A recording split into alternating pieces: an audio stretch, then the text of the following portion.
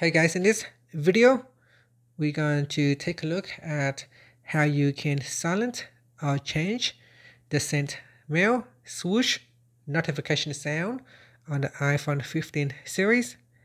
First, let's go back to the home screen by swiping up at the bottom of the screen.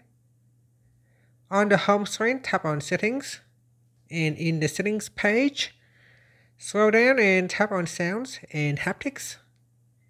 Then we go down and tap on sent mail. In here to change the sent mail notification sound, simply select a sound, a different sound from the list here. Uh, to select more sound, you can expand the classic uh, category. And here, you can choose a different sound.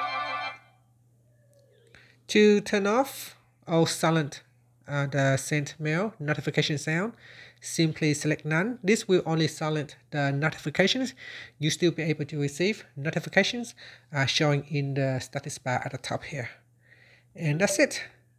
Finally, you can tap on the back key to go back to settings or swipe up to go back to the home screen.